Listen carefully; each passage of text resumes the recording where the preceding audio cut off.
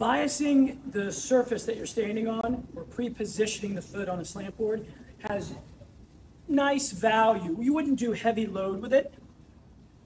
But if we take a, a fundamental motion, say here a, a, very simple, we'll call it a layup squat. I'm sitting down in that hip, might be more of a hinge, and going up for a layup. That pre-position of the foot changes the demand in the ankle. When I flip it this way, that obviously is a different demand. You want to be careful with the degree of elevation of that tilt. But that particular value of going up on heel has some niceties. You could also blend it. So it's hard flexion, or other words, and here, if you watch, the strategy is I'm going to pre-position with just my forefoot on. So now that calf is loaded the whole time, a little tight for me, to go up, and then lastly, I turn it to bias the other way. Just think of being on a 45.